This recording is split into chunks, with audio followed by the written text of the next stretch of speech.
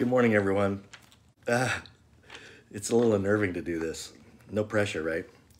Uh, this morning, I wanted to be able to cover part two of uh, of this Great Reset. Uh, it is in itself called the Great Reset, uh, and it's interesting to go back just a little bit and to be able to consider what happened um, with World War One. Uh, ultimately, at the end of World War One, there was a, a push for the something called the League of Nations, and of course, at that point, Congress wasn't ready to give up its sovereignty, like it was years later or like it is now, um, and so they said no. And so the League of Nations uh, was not something that the United States involved itself in. Well, fast forward to um, to World War II, uh, the war to end all wars. Uh, there was a huge push for the United Nations to be able to make sure that we didn't have such global atrocities again.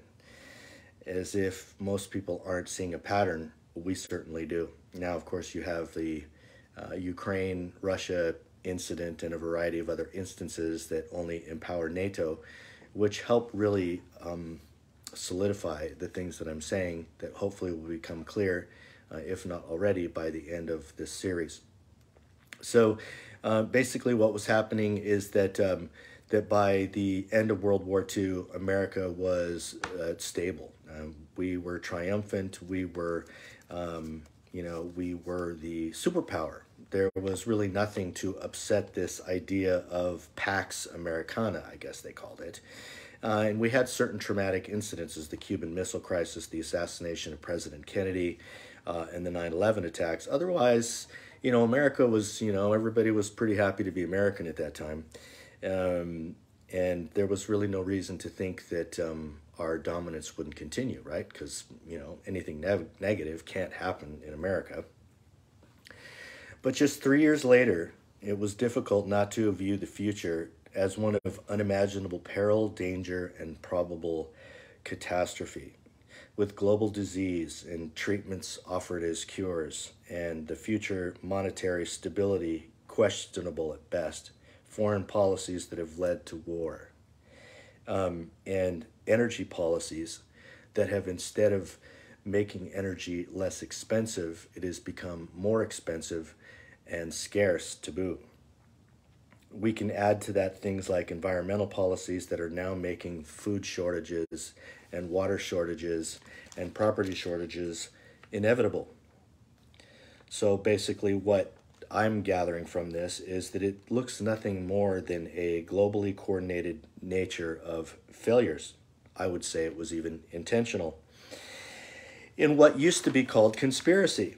And so these disasters look like they're deliberately caused from the policies being advocated, and the policies differ in their essential character from the policies before. You know, Thomas Jefferson in 1809 basically stated that the, the purpose of government was the care in human life and happiness and not their destruction. It is the first and only legitimate object of good government. Now, most people in government will say, oh, well, the government's just to keep people safe. Well, it depends on what you call safe. If you're talking about, you know, the government defining bad people um, and then arresting them, um, violating their oath and violating the Constitution and violating their conscience, then I would say maybe that's probably safe. But is incarcerating them really safe? And is it really their job to be able to keep people safe? And again, I'd like to go over this again because it's hugely important. Thomas Jefferson basically said that the core of traditional Americanist approach for government in 1809 was the care what and the essence of good government was the care of human life and happiness and not their destruction. That's their first and only legitimate means of good government. So it doesn't arbitrarily put the power of government um, uh, to remove the power from the people and empower government to be able to keep us safe. No, that's not our job. Freedom, many, many times, is not safe. If you can jump off of a bridge with a parachute, is that safe?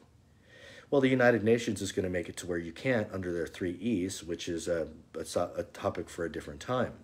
if you want to wear a bicycle without a helmet. Is that um, can that be unsafe? Well, it probably can. What about a motorcycle? What about race cars? What about all of these different things?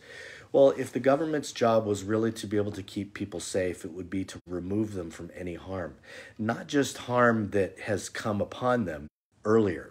Uh, and basically, what that means is we're moving into an area of what they call preemptive crime, where they can, if, and also the three E's, I think it's called, that even if something appears to be dangerous but isn't, and these people um, believe that it's dangerous, they will prevent you from doing it. So it's very, very important that people that are in government offices and you holding government government holding your government accountable understand the essence of good government is the care of human life and happiness and not their destruction.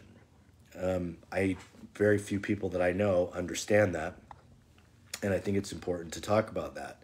But the broader range of policies are designed to tear down the key institutions of our American Republic.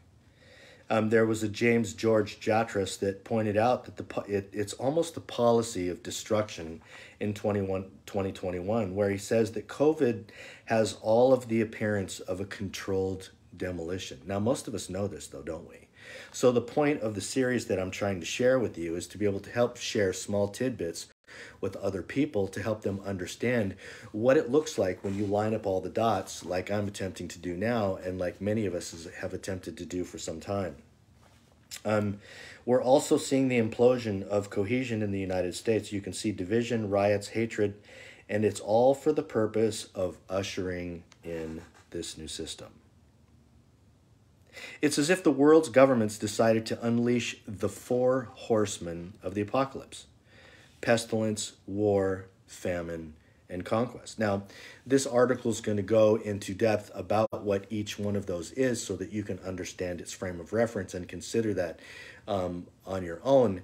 But to, to suppose that there is no, that the war now is just of flesh and blood and it's not of the darkness um, that the Bible talks about is extremely short sighted it isn't to say that if you don't want to believe in God that I'm somehow against you. I'm not. What I'm helping you understand, or I'm trying to help you understand, is that rights don't come from the government. Rights come from God. And if you don't believe in God, then how can you believe that your rights are unalienable or bestowed upon you upon the Creator Himself?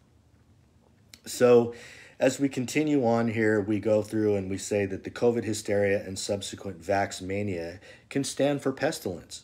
The U.S. proxy war against Russia, um, the higher commodity price, the states dictates will cause famine in poor countries. As for the fourth horseman conquest, that's best translated into state power. Casey concluded, We're in for tough times. The four horsemen are saddling up.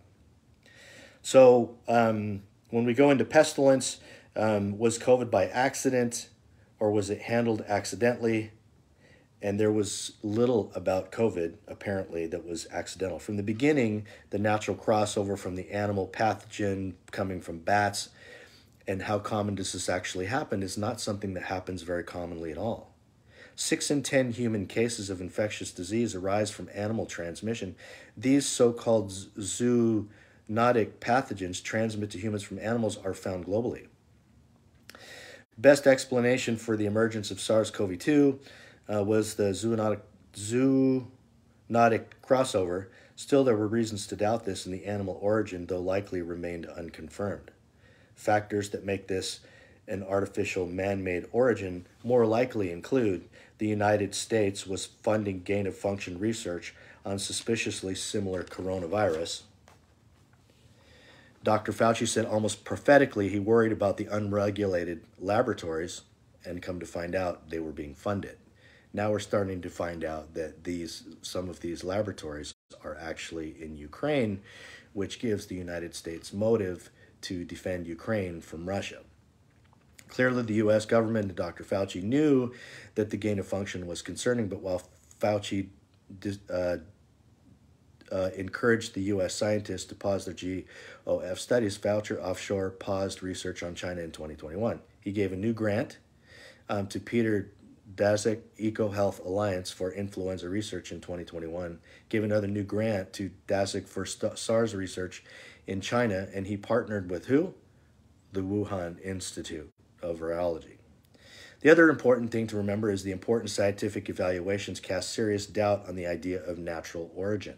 Course, there was the article that came out by The Lancet, and the report, by quote, says no independent, transparent, or science based investigation has been carried out regarding bioengineering of SARS like viruses that has underway before the outbreak of COVID 19. Independent researchers have not yet investigated the U.S. laboratories engaged in the laboratory manipulation of SARS CoV like viruses, nor have they investigated the details of the laboratory research that has been underway in Wuhan. The NIH has resisted disclosing details to the research, providing extensive redacted information, and it really smells like there's a cover up. When you think about all of this and the government has more excuses than they do answers, that should be something that would concern every single American the fact that they all they have is excuses and they want to redact information and they want to make sure that they keep us in the dark and that somehow we should just trust our government um, is a recipe for absolute disaster.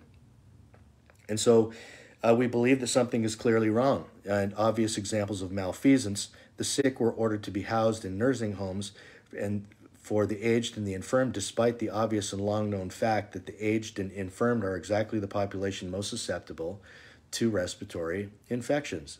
Yet the governor in state after state forcing nursing homes to place those sick with COVID in close proximity to most vulnerable people. Now, most people are not going to see it yet, but by the end of this series you will.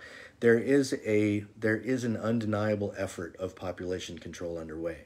When you look at the removal of food, the high energy prices, the intent to collapse the economy, the intent to be able to create a zero economic growth scenario.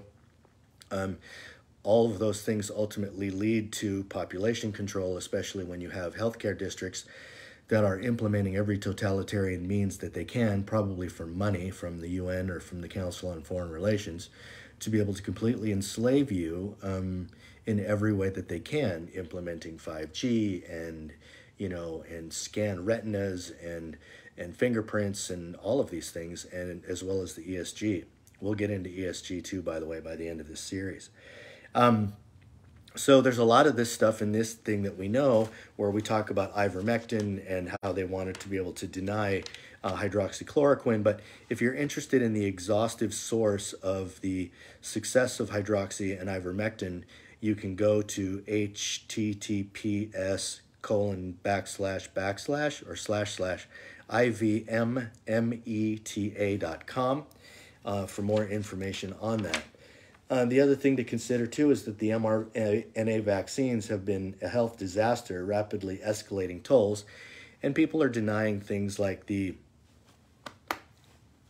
um, and uh, you know people just suddenly kind of just falling over, and it's a it's weird that people are not willing to be able to connect the dots in that degree maybe they're scared because they somehow ended up taking the vaccine, and like many of my friends, they now regret it. Um, so uh, they have a steady, steady level of unexplained deaths uh, in Germany and Switzerland, and they have twice the empirical standard of deviation. The excess death trend began in April of 2021. Um, and they when they had an extensive vaccination campaign, and they had two effects of the vaccination on one hand, decreasing excess mortality because of the successful immunization on and on the other hand, an increasing mortality if the vaccine would cause side effects to form deaths. Now, many of us that are watching this video understand that they they should smell a rat. Uh, they can smell a rat. They've done their research on COVID. Um, they've done their research on a variety of other elements. And so I don't, I'm not really interested in pushing this article so much because I understand that people understand kind of um, what's been going on with COVID because it's helped wake up, wake up a lot of people. Again, this is just part of the series to be able to help people connect the dots about what's going on and how COVID is actually part of it. COVID, COVID is actually part of changing our new normal to be able to fit into this sort of our global common future great reset, if you will. And hopefully you'll stick with me for the rest of the series Um, and I think the next we're going to end up um, we're going to end up talking about war. We'll end up talking about famine. We'll end up talking about why. Um, and then we'll end up concluding that part of the series. So this is going to be the first part of two parts before we move on to the actual third part, if that makes any sense. So I hope you guys have a good good day, and I hope uh, that you find these um, entertaining and informative. Thanks.